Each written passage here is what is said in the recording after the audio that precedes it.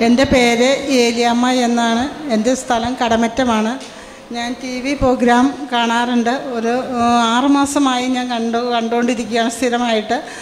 അപ്പോഴാണ് എന്റെ മോക്ക് ചെറിയ ഓപ്പറ മൂന്നാൽ ഓപ്പറേഷനൊക്കെ കഴിഞ്ഞ വച്ചായിരുന്നു ഒരു കല്യാണം കഴിഞ്ഞു. കല്യാണം കഴിഞ്ഞിട്ട് രണ്ടര വർഷമായിട്ടും മക്കളൊന്നും ഉണ്ടായിട്ടില്ല. അപ്പം ഞാൻ തിരുമേനിയുടെ പ്രാർത്ഥന കഴിഞ്ഞ് ജൂണിൽ തിരുമേനി പ്രാർത്ഥിച്ചു. പിള്ളേരുണ്ടാവാത്തവർക്ക് പിള്ളേരുണ്ടാവും. അത് അമ്മ പ്രാർത്ഥിച്ചാൽ മതി എന്ന് തിരുമേനി ശക്തി പ്രാർത്ഥിച്ചു. അപ്പം ഞാൻ കൂടെ നിന്ന് മുട്ടുമേലിൽ നിന്ന് തിരി വീട്ടിനകത്ത് വീട്ടിനകത്ത് ഇരുന്ന് പ്രാർത്ഥിച്ചു കഴിഞ്ഞപ്പോൾ കഴിഞ്ഞ ജൂൺ ജൂലൈ ഈ മാസം ആ, ഒന്നര മാസം ഗർഭിണിയാണ് എന്നും പറഞ്ഞ് എന്നോട് വിളിച്ചു പറഞ്ഞു. എനിക്ക് പ്രാർത്ഥനയിൽ ഞാൻ ഒരു പ്രാർത്ഥന ഇങ്ങനെ കൂട്ടായ്മയിൽ ഒന്നിനും ഞാൻ പോയിട്ടില്ല. ഞാൻ ടി വിയിൽ നിന്ന് മാത്രം തിരുമേനിയുടെ പ്രാർത്ഥന കണ്ടതാണ് ഞാൻ. എനിക്ക് സാക്ഷ്യം പറയാനായിട്ട് ഇന്നിപ്പോൾ എന്നെ എറണാകുളത്ത് പോകണമെന്ന് പറഞ്ഞപ്പോൾ കിട്ടും പറഞ്ഞു അങ്ങനെയൊന്നും പോകാൻ പറ്റില്ല എന്ന് പറഞ്ഞു.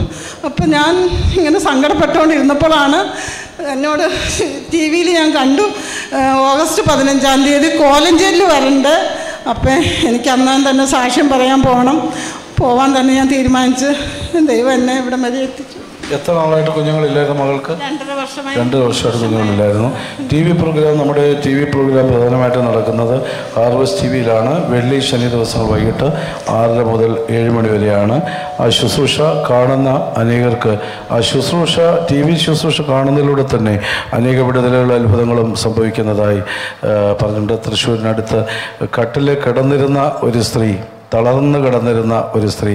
അവർ പ്രാർത്ഥിക്കുന്ന സമയത്ത് ടി വിയിലോട്ട് കൈപൊക്കി കാണിച്ചു. അവർ ക്ഷണനേരം എഴുന്നേറ്റ് പൂർണ സൗഖ്യത്തോടെ വരുന്നതിനിടയായി. അതിൽ ഒരുപാട് അത്ഭുതങ്ങൾ കർത്താവ് ചെയ്തുകൊണ്ടിരിക്കുകയാണ്.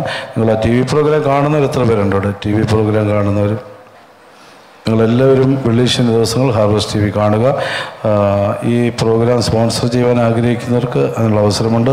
ദൈവം നിങ്ങളെ ധാരാളമായി അനുഗ്രഹിക്കട്ടെ. ഈ സഹോദരി കുടുംബത്തിന് കൊടുത്ത അനുഗ്രഹങ്ങൾക്കായി കരമടിച്ച ദൈവത്തെ സ്തുതിക്കുക